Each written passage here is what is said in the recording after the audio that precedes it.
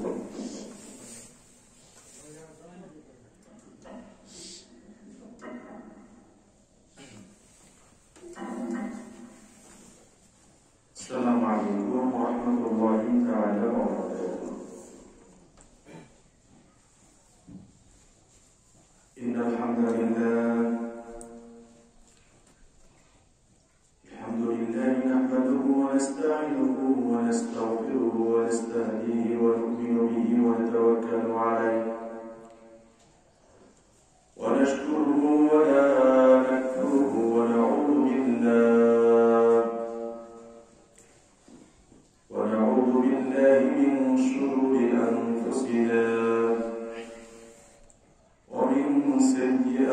أعمالنا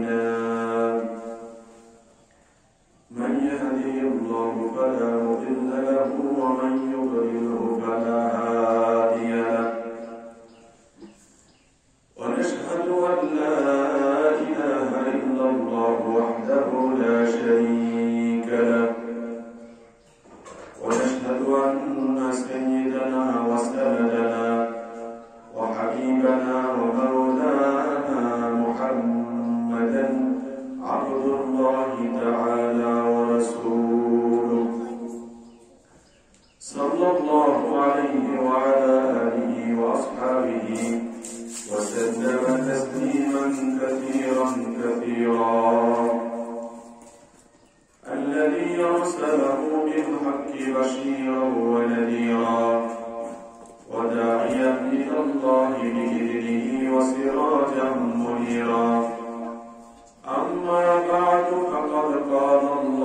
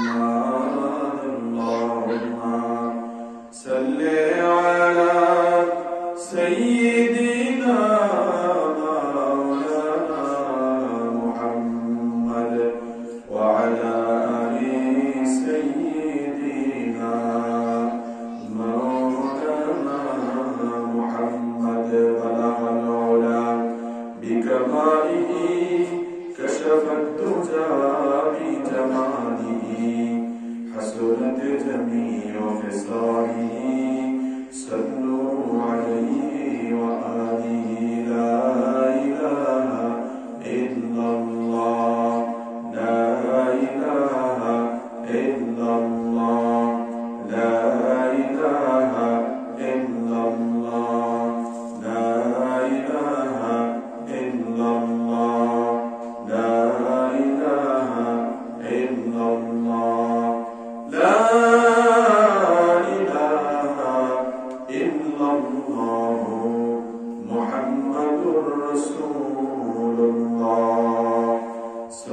الله عليه وسلم আশা সিদ্দিকা আদর্শ মহিলা মাদ্রাসার উদ্যোগে আয়োজিত চোদ্দতম বার্ষিকী ওয়াজুল মাহফিলের সম্মানিত সভাপতি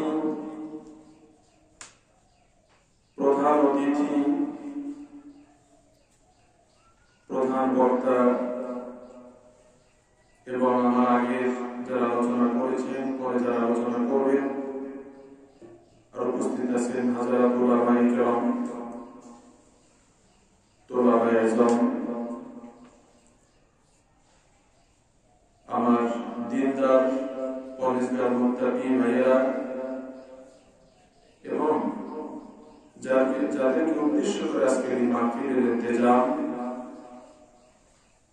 আমার পর্দার অন্তরের সম্মানিতা মা এবং বোনেরা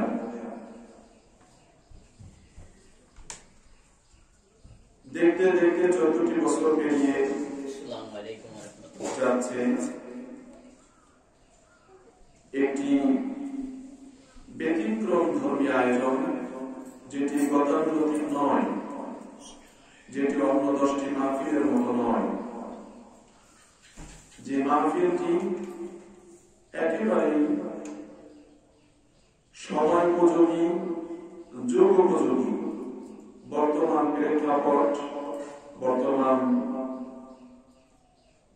রাষ্ট্রীয় ব্যবস্থা সামাজিক ব্যবস্থা পারিবারিক ব্যবস্থা এই দুর্যোগতম অবস্থা থেকে পরিত্রাণ পাওয়ার একটি অন্যতম মাধ্যম হিসেবে মাইল খবর করে থাকতে পারে যে আয়োজন, যে ইন্তজাম, সেই মা বোনদের জন্য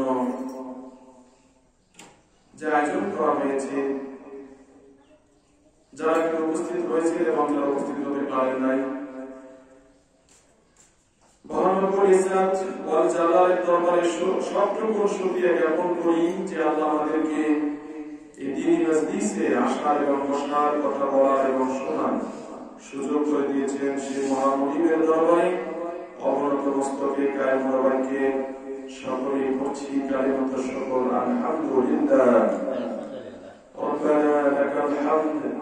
حمدا كثيرا طيبا مباركا فيه يا ربي لك الحمد كما ينبغي لجلال وجهك وعظيم سلطانك আমরা মহানবের দরবারে সকল বোঝা করে নিলাম সম্মানিত মা ও বোনেরা আমি গত বছর আপনাদের মাহফিল এসেছিলাম আল্লাহ দরবারে সকল বোঝা করি যে আল্লাহ দীর্ঘ একটি বছর হায়াত দিয়েছেন এবং আবার এখানে আমাকে আসার সুযোগ করে দিয়েছেন এবং মনে হয় আমার মন করে যে গত বছর এই মাহফিলের শ্রোতা হিসেবে যে মা বোনা এসেছিলেন আমার মনে হয় সবাই বেঁচে নেই। কেউ না কেউ হয়তো আমাদের ছেলে আত্মীয় স্বজনকে চির বিদায় দিয়ে কাপড়ের কাপড় গায়ে জড়াইয়া চিরদিনের জন্য অন্ধকার কবরে ঘুমিয়ে আছে। আমরা দোয়া করি এই মাহফিলে যারা শ্রোতা ছিলেন এদের মধ্যে যারা আজ দুনিয়ায় নাই আল্লাহ তাদেরকে তার হাবিবের ওসিলায় আজকের এই মাহফিলের ওসিলা আল্লাহ তাদেরকে কেমন পর্যন্ত মাফ করে দিন সকলে করুন আমিন। সম্মানিত ভাইরা এবং মা বোনেরা এই মাহফিলটি একেবারে ব্যতিক্রম। এই মাহফিলে যারা এসেছেন যারা আসতে পেরেছেন তারা অত্যন্ত ভাগ্যবান। তারা অত্যন্ত আল্লাহ মাহবুবা আল্লাহ একজন একান্ত বান্দি, যার জন্য আপনি আসতে পেরেছেন। এখানে এসেছেন একান্ত করে একটা এইম নিতে হবে, একটা আপনাকে একটা উদ্দেশ্য নিয়ে এখানে আসতে হবে। যারা উদ্দেশ্য নিয়ে আসেন তাদেরকে এখানে বসে স্থির করতে হবে আজকে মাহফিল থেকে আমি কি শিখব এবং যা কিছু শিখব, সবটাই যেন আমি আমার ব্যক্তিগত জীবন, পারিবারিক জীবনে যেন আমরা বাস্তবায়ন করতে পারি আল্লাহ আমাদেরকে তৌফিক দান বর্তমান এই প্রেক্ষাপটে আমরা একটি ক্রান্তিকাল অতিবাহিত করছি। এই অবস্থা থেকে আমাদেরকে উত্তরণ হতে হলে, পরিত্রাণ পেতে হলে, এই অবস্থা থেকে মুক্তি পেতে হলে আমাদের যতগুলো দায়িত্ব পালন করতে হবে তার মধ্যে বেশি থেকে বেশি দায়িত্ব পালন করা, করার প্রয়োজন হলো আমাদের মা বোনদের আমরা দেখেছি, ইন্ডিয়ার কর্ণাটক রাজ্যে গত কয়েকদিন আগে একটি বিশ্ববিদ্যালয় হিজাব পরিধান করাকে কেন্দ্র করে সেখানে এক নারকীয় তাণ্ডব ঘটে গেছে এবং এই নারকীয় তাণ্ডবের মধ্যেও আপনার মতন একজন বোন, সে কিন্তু শত বাধা বিপত্তি পেরিয়ে সকল প্রতিকূলতাকে উপেক্ষা করে সে কিন্তু তার নিজের একা কণ্ঠ দিয়ে তাম বিশ্ববাসীকে দেখিয়ে দিয়েছে যে আমরাও পারি, নারী জাতীয় পারে, সব হিন্দু সব ছাত্র ছাত্রীরা জয় শ্রীরাম জয় শ্রীরাম বলে স্লোগান দিচ্ছে। এবং সে আমার বোনটিও সেই কলেজের একজন স্টুডেন্ট ছিলেন। সেও তার বাইক থেকে নেমে তিনি বোরকা পরিহিতা ছিলেন। তিনি নেমে তাকে দেখে ওই উদ্ভট জানোয়ারের দল আরও উশৃঙ্খল হয়ে গিয়েছিল। এবং জয় শ্রীরাম জয় শ্রীরাম স্লোগান দিতে দিতে তার দিকে তেড়ে আসছিল। কিন্তু আমার সেই বোন, যার নাম ছিল মুস্কান সে কিন্তু তার সঙ্গে কেউ ছিল না, এদিকে তাকায় নাই সে দেখে নাই যে আমার পিছনে তো আমার কোনো মুসলিম ভাই নেই, কোনো বোন নেই।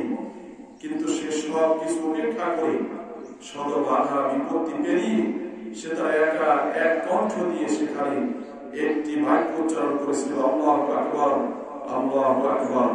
তখন যেন তাম বিশ্ববাসী, আটশো কোটি মানুষ তার দিকে, তার যেই তাকবীরের ধ্বনিতে সবাই যেন সবার হৃদয় যেন প্রকম্পিত হয়েছিল। আমি আমার আলোচনার প্রেরণেই আমার মা বোনদেরকে উদ্দেশ্য করতে চাই। ইন্ডিয়ার মতো একটি রাষ্ট্রে একজন বোন যদি আল্লাহ আকবর আল্লাহ আকবর স্লোগান দিয়ে যদি তাম বিশ্ববাসীকে তাক লাগিয়ে দিতে পারে এবং তাম বিশ্ববাসী তাকে সাধুবাদ মোবারকবাদ জানিয়ে তাকে একেবারে জনপ্রিয়তার শীর্ষে আরোহণ করে দিয়েছে। সে বোনটি যদি একা পারে তাহলে আমাদের দেশ নব্বই জন মুসলমানের দেশ।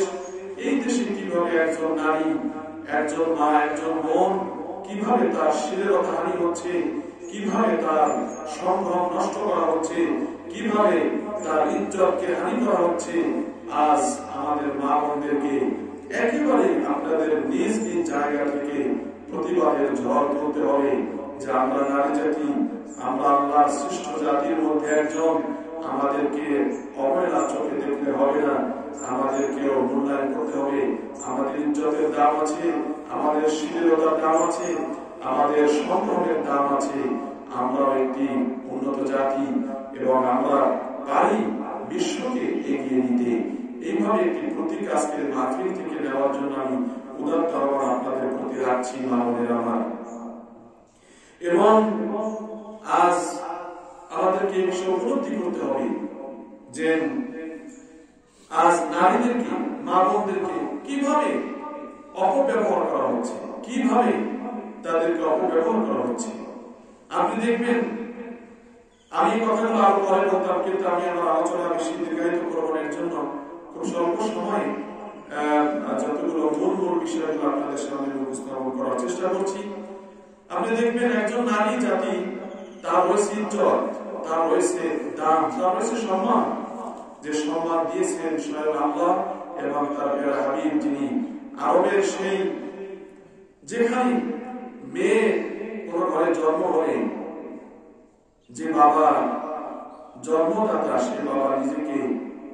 নিচ মনে করত সমাজে তাকে হ্যায় প্রতিপন্ন করা হতো মেয়ে ঘরে জন্ম নিয়ে এই হ্যায় প্রতিপন্ন হওয়া থেকে নিজেকে বাঁচানোর জন্য এবং নিজের অবস্থান সামাজিক ভাবে উঁচুতে রাখার জন্য জন্মদাতা পিতা হয়ে সেই কন্যাটিকে নাবালক অবস্থায়, নিষ্পাপ অবস্থায় জ্যান্ত পুঁতে ফেলা হতো। আল্লাহ বিআইয়ে জামবিন তাদের কি অপরাধ ছিল? তাদের কি অন্যায় ছিল যার জন্য তাদেরকে এভাবে হত্যা করা হতো, আল্লাহ নিজেও সে ব্যাপারে সতর্ক করেছেন। এবং বিশ্বনবী রহমাতুল্লাহ আলামিন এসে আল্লাহর সেই ঘোষণাকে আরববাসীর মধ্যে তাম বিশ্ববাসীর মধ্যে নারীর সেই সম্মান, নারীর সেই মর্যাদা তিনি প্রতিষ্ঠিত করে দিয়েছিলেন। মা বোনেরা, সেখান থেকে আজ আমাদের কোথায় নিয়ে যাওয়া হয়েছে? আজ দেড় হাজার বছর পরে নারী জাতিকে আজ কীভাবে বিধর্মীরা আজ একেবারে পণ্য দ্রব্যের মতন ব্যবহার করা শিখিয়ে দিয়েছে। আজ আমাদের সমাজগুলো সেদিকে ব্যতিব্যস্ত হয়ে যাচ্ছে। আমাদের মা বোনদের সেই উপলব্ধি আমরা হারিয়ে ফেলেছি। মা বোনদের সেই চেতনা আমরা ভুলে গেছি, যে আসলে আমরা আমাদের ইজ্জত আছে, আমাদের দাম আছে, কিন্তু সেটি অনেক ক্ষেত্রেই মা বোনেরা ভুলে যান। আজ একটি পণ্যের বিজ্ঞাপন দেওয়ার জন্য মা ছবি ব্যবহার করা হচ্ছে। কিন্তু কেন? কোন মা প্রশ্ন করেছেন?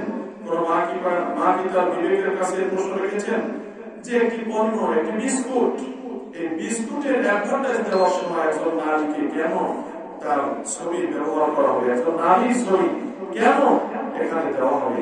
একজন নারীকে কীভাবে কেন উলঙ্গ করে জাতির সামনে উপস্থাপন করা হবে? কোন নারী, কোন কোন বোন, কোন মা কি এটার ব্যাপারে একবারও প্রশ্ন করেছেন মনে হয়তো না। যদি আমার মা, আমার বোন, আমার স্ত্রী, আমার আত্মীয়া যদি ব্যাপারে আমরা সবাই মিলে ঐক্যবদ্ধভাবে সচেতন হতাম যে না, নারী জাতি এভাবে পণ্যের অ্যাডভার্টাইজ দেওয়ার জন্য ব্যবহৃত হতে পারে না। এটা সম্ভব নয়, এটা মেনে নেওয়া যায় না।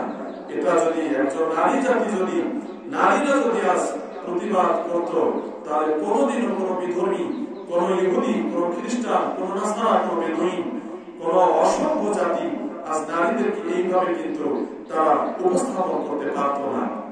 সম্মানিতা মা বোনেরা, আপনার রয়েছে ইজ্জত, আপনার রয়েছে দাম। নবী করিম সাল্লাল্লাহু আলাইহি ওয়াসাল্লামের স্ত্রী আম্মা জান আয়েশা সিদ্দিকা রাদিয়াল্লাহু তাআলা যিনি একেবারে অল্প বয়সেই নবী করিম সাল্লাল্লাহু আলাইহি ওয়াসাল্লামের স্ত্রী হিসেবে আল্লাহ তাআলা তাকে কবুল করেছিলেন। আম্মা জান আয়েশা সঙ্গী ছিলেন। তিনি যুদ্ধের সময়ও নবী করিম তাকে নিয়ে যেতেন, তার সফর সঙ্গী হিসেবে। সিদ্দিকা রাদিয়াল্লাহু তাআলা তিনি গর্ব করে বলতেন, যে আমি আমি আমি আল্লাহর কাছে শুকরিয়া জ্ঞাপন করি যে আল্লাহ নবী রাসূল আলামিন সাল্লাল্লাহু আলাইহি ওয়াসাল্লাম আমার উরুর উপরে মাথা দিয়ে ঘুমার অবস্থায় আল্লাহ ওয়াসাল্লামের উপরে ওহী নাযিল হয়েছে যেটা অন্য কোনো এবং আমাদের আশা সিদ্দিকা তাআলা তিনি আরও গর্ব করতেন যে নবী করিম সাল্লাল্লাহু আলাইহি ওয়াসাল্লাম যখন এই আরবের মানুষগুলো আমার চরিত্র নিয়ে কথা বলেছিল তখন আল্লাহ রাব্বুল আলামিন আমার চরিত্রের ব্যাপারে একটি নয় দুইটি নয় দশ দশটি আয়াত নাজিল করে আমার সতীত্বের যে হেফাজত, আমার সতীত্ব যে ছিল, এটা আলামিন তিনি বিশ্ববাসীকে প্রমাণ করে দিয়েছেন।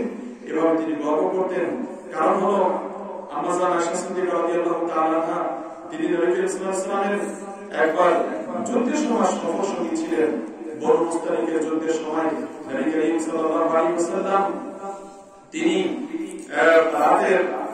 অধিক অধিক রাত হয়ে সফর করতে করতে যখন তিনি ক্লান্ত হয়ে গেলেন। তখন তিনি সাহাবায়ে কেরামকে বলেন, আমার তাবু স্থাপন করো, আমাদেরকে এখানেই রাত যাপন করতে হবে। তারপর সাহাবায়ে কেরাম তাবু স্থাপন করলেন, রাত যাপন করলেন এবং নবী করিম সাল্লাল্লাহু আলাইহি ওয়াসাল্লাম রাতের শেষাংশে বলেন যে, এখন আমাদেরকে মদিনাতুল মুনাওয়ারার উদ্দেশ্যে রওনা দিতে হবে।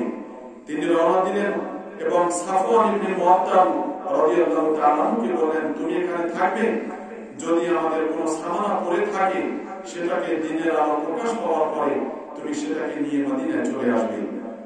নবী করিম সাল্লাল্লাহু আলাইহি সাল্লাম সাফওয়ান ইবনে মুআত্তালকে বললেন এবং তিনি রয়ে গেলেন। নবী করিম সাল্লাল্লাহু কাফিলা নিয়ে রওনা হয়ে গেলেন মদিনাতুল মুনাওয়ারার উদ্দেশ্যে।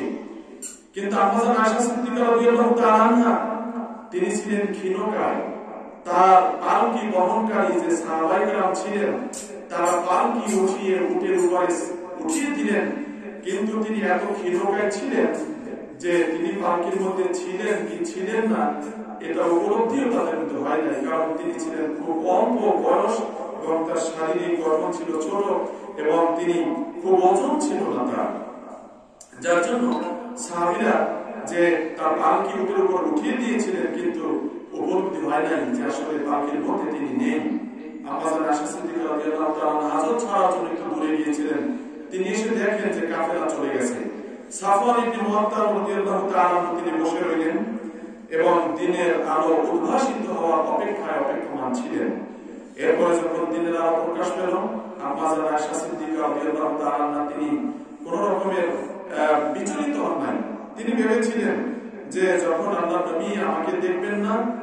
অবশ্যই সাহাবাকে আমাকে খোঁজার জন্য পাঠাবেন।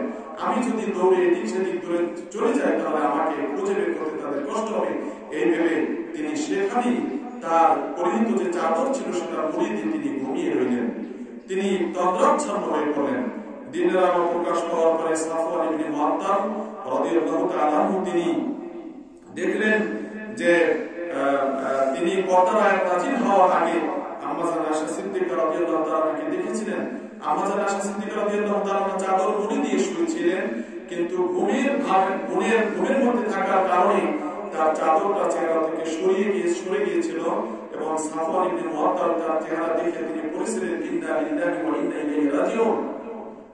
তিনি এটা বললেন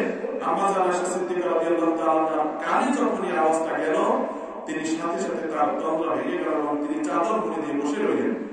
এবং সাফওয়ান ইবনে তার উটকে কাছে এগিয়ে এনে বললেন, আম্মাজান, আপনি উঠেন উটের উপরে। এই উটের উপরে উঠে সাওয়ার করে তিনি লাগাম ধরে হাঁটতেছেন। মুনাফিক সর্দার ইবনে সেই ঘটনা যখন দেখল যে ইবনে উটের রশি ধরে তিনি হাসছেন সামনে আর উটের উপরে যিনি আরোহী ছিলেন, তিনি ছিলেন আম্মাজান আয়েশা সিদ্দিকা রাদিয়াল্লাহু তাআলা তিনি ছিলেন মুনাফিকদের সর্দার। তিনি ছিলেন আল্লাহর নবীর দুশমন, সাহাবায়ে কেরামদের দুশমন, ইসলামের দুশমন, কোরআনের দুশমন এবং সাহাবায়ে কেরামদের দুশমন। তিনি একটা সুযোগ পেয়ে গেল। সুযোগটাকে সে কাজে লাগালো সে সাফওয়ান ইবনে মুআত্তাল রাদিয়াল্লাহু তাআলা মতন জলিলুল কদর সাহাবী এবং আল্লাহ রাব্বুল আলামিনের প্রিয় হাবিব নবী মুহাম্মদুর রাসূলুল্লাহ সাল্লাল্লাহু আলাইহি ওয়াসাল্লামের একজন প্রিয়তম স্ত্রী আম্মা জান আয়েশা সিদ্দিকা রাদিয়াল্লাহু তাআলা আনহাকে নিয়ে বলতে শুরু করল এবং মদিনা অলি গলিতে বলে লাগল। নবী করিম সাল্লাল্লাহু আলাইহি হয়ে গেলেন। তিনি তো কাছে ছিলেন না। তিনি ভাবলেন, আমি কি শুনছি? সাহাবায়ে কেরাম তাদেরও কপালে পড়ে গেল সাফওয়ান ইবনে অস্থির হয়ে গেলেন। আম্মা রাদিয়াল্লাহু তাআলা শুনে বেহুশ হয়ে পড়লেন, যে আমি কি শুনছি? আম্মা আয়েশা সিদ্দিকা রাদিয়াল্লাহু তাআলা আনহা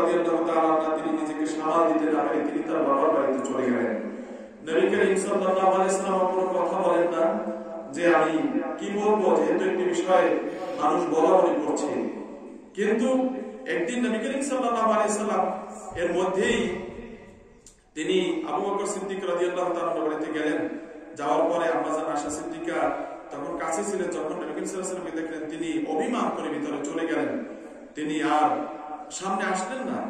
এবং তিনি বললেন যে, আমাকে যে বোঝে না, আমি তার সামনে কেন যাব? ভাইরা আমার আম্মাজান চরিত্র ছিল ফুলের মতন পবিত্র।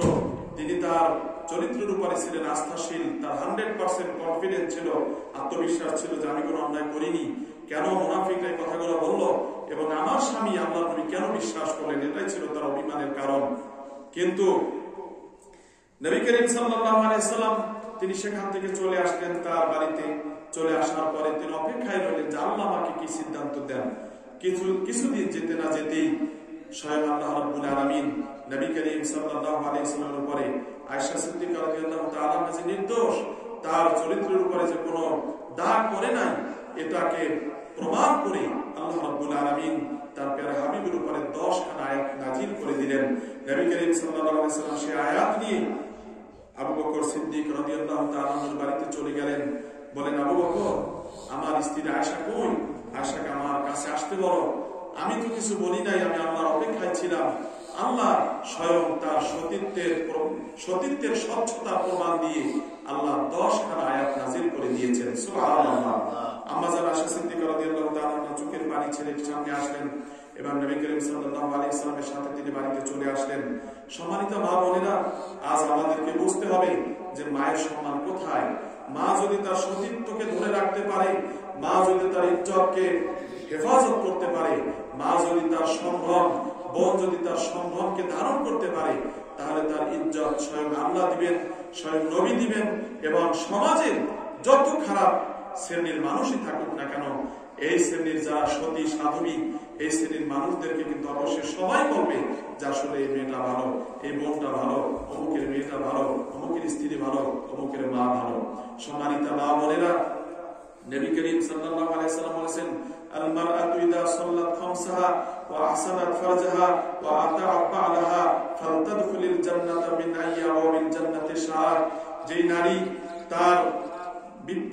ব্যাপারে আল্লাহ যে বিধানগুলো দিয়েছেন, যে পাঁচ নামাজ পড়বে এবং নারীর স্বামীর খেদমত করবে এবং তার ইজ্জতের হেফাজত করবে। ইজ্জত আব্রুর সম্ভ্রম যা আছে আল্লাহ দিয়েছেন তাকে। যে জিনিসগুলো দিয়ে তাকে ইজ্জত দিয়েছেন, সম্মানিত করেছেন, সেই সে বিষয়গুলোকে তার সেই সম্ভ্রমকে হেফাজত করবে রমজান মাসে রোজা রাখবে এবং আল্লাহর হুকুম পালন করবে স্বামীর ইতাত করবে। সেই নারীর জন্য আল্লাহ নবী কত সুখবর দিয়ে গেছেন সে জান্নাতের যে দরজা দিয়ে ইচ্ছা করবে সেই দরজা দিয়ে সে জান্নাতের প্রবেশ করতে পারবে। অতএব আমাদেরকে বুঝতে হবে যে আসলে আমার ইজ্জত রয়েছে আমার সম্মান রয়েছে আমার দাম আছে আমাকে এই দামগুলো ধরে রাখতে হবে, আমার সম্মানটা ধরে রাখতে হবে। আমার সম্মান আমি যদি মিলিয়ে দেই, তাহলে কেউই আমাকে উদ্ধার করবে না কেউ আমাকে ইজ্জত ওরা বলবে না কেউ আমাকে দাম দিবে না। অতএব ভাইরা আমার, যারা শুনছেন এবং আজকের মাহফিল আগত, আমার মা বোনেরা, আমি আপনাদের খেদমতে আরজ করতে চাই, আজ ঘুরে দাঁড়ানোর সময় এসেছে। আজ আমাদেরকে, আমাদের চেতনা ফিরিয়ে আনতে হবে যে আমি কোন জাতি আমি কোন জাতি? আমাকে আল্লাহ আমাকে- আল্লাহ আমাকে কোন পর্যায়ে সৃষ্টি করেছেন? আল্লাহ আমাকে কত দাম দিয়েছেন? আমি কেন এরকমের বিকিয়ে যাব বেরিয়ে যাব? আমি কেন অ্যাডভার্টাইজমেন্ট হতে যাব? আমাকে কেন জাতির সামনে উলঙ্গ করে আজ উপস্থাপন করবে? এটা হতে পারে না। কারণ আপনার সম্মান রয়েছে, আপনাকে সম্মান দিয়েছেন আল্লাহ। অতএব ভাইরা, মা বোনেরা, আমি আপনাদের আরজ করতে চাই। যে আমাদেরকে অবশ্যই এই অবস্থা থেকে বের হতে হবে এবং বের হওয়ার দায়িত্ব কিন্তু আমার, আপনার। আপনাকেই এই পথ খুঁজতে হবে। আপনাকে আল্লাহ যেভাবে চলতে বলেছেন, আপনার, আপনাকে আল্লাহ রসুল যেভাবে চলতে বলেছেন, সেভাবে চলাই হলো আপনার এখান থেকে বের হওয়ার একমাত্র একমাত্র পথ এবং এটাই হবে আপনার মুক্তির পথ, এটাই হবে আপনার নাজাতের পথ এবং এটাই হতে পারে এই সমাজের শান্তির পথ, এটাই হতে পারে আমাদের ঘরের শান্তির পর এটাই হতে পারে আমাদের রাষ্ট্রের শান্তির পর। আল্লাহ আমাদেরকে কবল করুন। আমিন। আলহামদুলিল্লাহ আলামিন। আলোচনা করুন।